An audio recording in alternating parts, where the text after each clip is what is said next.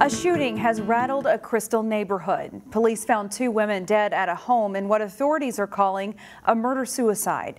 The incident happened Thursday night around 1140 at a home in the 5100 block of 49th Avenue North. A 62-year-old woman and a 73-year-old woman were found dead inside the house. Crystal police say both women died from single gunshot wounds. A relative discovered the bodies of the two longtime roommates after going to check on them. Meanwhile, police are now trying to find out the circumstances that led up to the incident. We have had no history with either of them um, or that residence. They were not known to us. Um, the uh, family members that we talked to were were pretty shocked that this had occurred.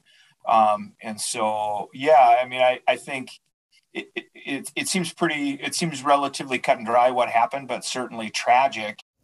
Police say there is no danger to the public, and if you have any information on this case, you're asked to call Crystal Police.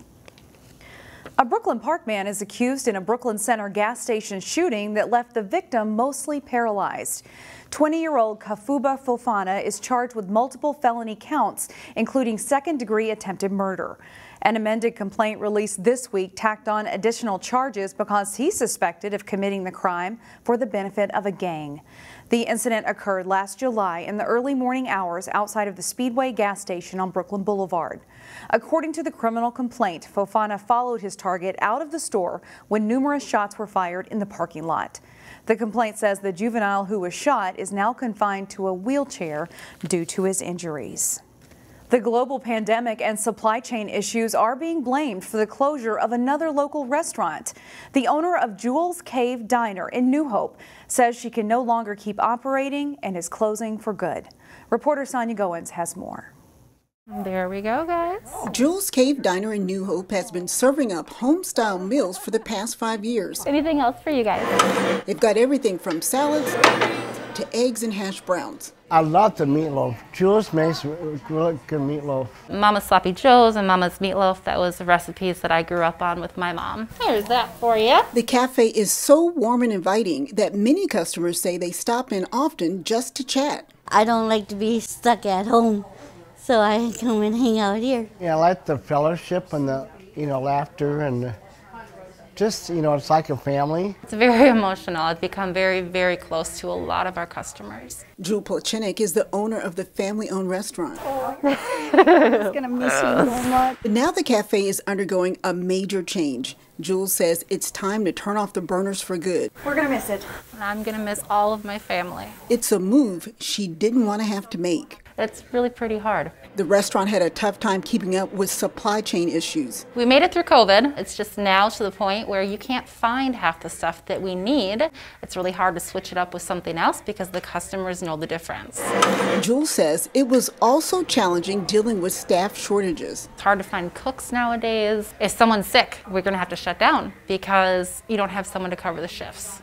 The owner says she will miss the customers and the joy they brought to her life. It's just amazing how grateful people are for you, how much love can be actually had. And I can take that home and show that to my kids. January 31st is the last day the restaurant will be open. Jules says she will cherish the memories. Thank you, everybody, for all your love and support over the years. It's been a very hard decision to decide to sell, but it is what's best for my family right now. In New Hope, Sonia Goins, CCX News. City officials in Brooklyn Center are moving forward with the plan to renovate and expand its community center and build a year-round adventure park. The total cost to build these amenities would be $135 million. Brooklyn Center has put in a request for state bonding dollars to help pay for the project, but the city also wants to implement a sales tax of 0.5%. That sales tax would raise $55 million over 20 years. This week, the Brooklyn Center City Council approved a resolution to ask the state legislature for the authority to implement a local sales tax. If state lawmakers give them the go-ahead, the Brooklyn Center voters would then have to approve the sales tax in a citywide referendum. The soonest the city could possibly implement the sales tax would be in 2024.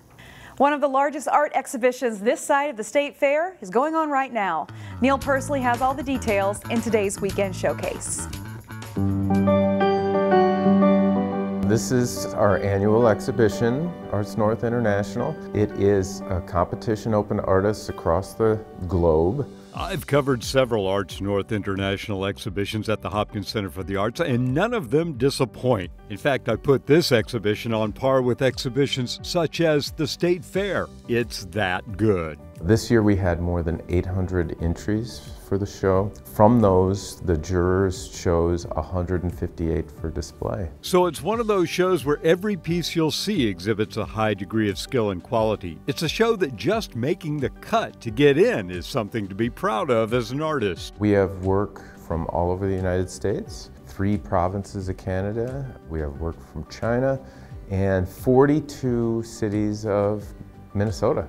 Some people take in the show in two visits, it uses all the spaces that we have for display, uh, both floors of the lobby gallery as well as the Redepenning. The exhibition is up through February 12th, so make an effort to stop in and browse the many fine examples of creativity and talent that the Arts North exhibition draws. So we have a best of show where all the artworks were in competition with each other, as well as first through fourth place overall, and then we have individual awards in the separate classes. And there's more at stake than just bragging rights. Over $9,000 in awards uh, given out. There are artist interviews and images on the Hopkins Center website, which might be a great prequel to your in person visit. For Weekend Showcase in Hopkins, Neil Persley, CCX News.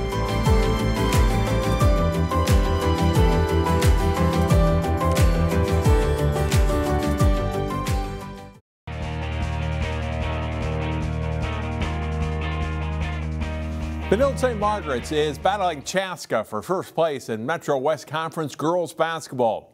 The Red Knights hosted a young Cooper team that is rebuilding this season. The Hawks looking to split the season series with the Red Knights following a 12-point Benilde win in December. BSM's Kendall McGee is left open and drains a three-pointer. The freshman guard scores 18 points in the night. Bree Frazier has been a bright spot for the Hawks this year. Early three-pointer ties the game. She nets 10 points. Isabel Davison trying to keep Cooper close. She'll hit a three-pointer. The Hawks are down by five. Great job by Benilde breaking the press here. Four passes later, and it's a layup plus a foul for Mackenzie Wells as the Red Knights go on a 12-1 scoring run. UConn women's basketball coach Geno Auriemma on the right in the gym, presumably to watch Red Knights guard Olivia Olson. Number one is one of the top sophomores in the country, and she scores here. Then it's Olson getting the ball and knocking down a mid range jumper for two more of her game high 27 points. Benilde leads by 19 at halftime. Early second half, and Frazier showing no fear, drives it into and past the Red Knights defenders to score.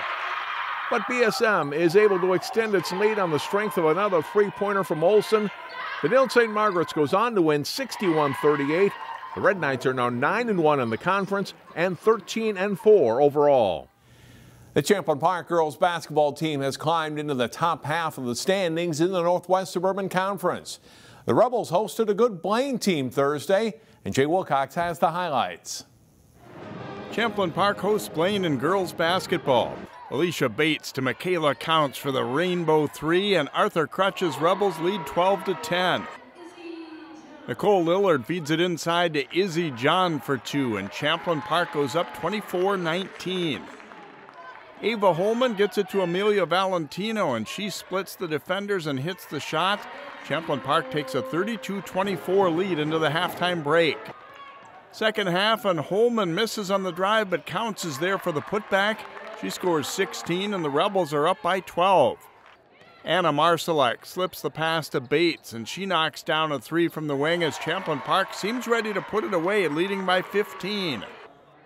But Blaine fights back. Off the inbounds play, Molly Garber banks it in as the Bengals cut the deficit to single digits. But Champlin Park holds the lead. Bates gets the steal. Her layup attempt misses, but Holman follows it up Champlin Park wins 67 56. They are now 8 and 8. Jay Wilcox, CCX Sports. Thanks, Jay. One other note from girls basketball. Congratulations goes out to Maple Grove head coach Mark Cook for winning his 300th career game Thursday as the Crimson beat Totino Grace. Maple Grove is 10-0 in the Northwest Suburban Conference this season. The Champlin Park boys swimming and diving team is battling through some illness right now. The Rebels played host to Elk River Thursday. Here again is Jay Wilcox. Champlin Park set to host Elk River in Northwest Suburban Conference boys swimming. In the 200 medley relay, Elk River and anchor Hunter Wolsensky raced to the win in a time of 154.54. Coming in second is Champlin Park's team anchored by Gavin Head, a little over seven seconds back. In the 200 freestyle, it's Elk River's Matthew Katkov edging his teammate Liam Nelson for the top spot. Then Champlin Park's Evan Gustafson touches ahead of Derek Lodermeyer of Elk River for third. The 50 freestyle is a good race for the Rebels as Captain Nick Jacobs wins in a time of 23.70, but it's Elk River winning the meet 99.79. Jay Wilcox, CCX Sports. Find more prep sports games and highlights at ccxmedia.org and follow us on social media.